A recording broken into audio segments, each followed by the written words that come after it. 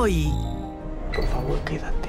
Se aprovechó de ella para luego despreciarla y humillarla. No te volver a... ¿Qué harías si María fuera tu hija? Hasta que cometió un error que nunca olvidará.